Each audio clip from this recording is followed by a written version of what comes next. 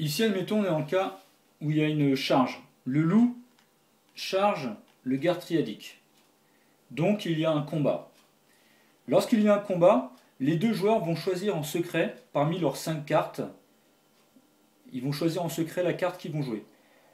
Comme le loup a chargé, il est obligatoire pour lui de jouer soit une carte d'attaque rapide, normale ou brutale. Il ne peut pas jouer ni inactif ni parade. Le garde triadique, lui, a le choix de choisir parmi les cinq cartes de combat. Donc les deux joueurs choisissent en secret leur carte. On révèle. Le loup a joué une carte d'attaque brutale et le garde triadique une carte d'attaque normale.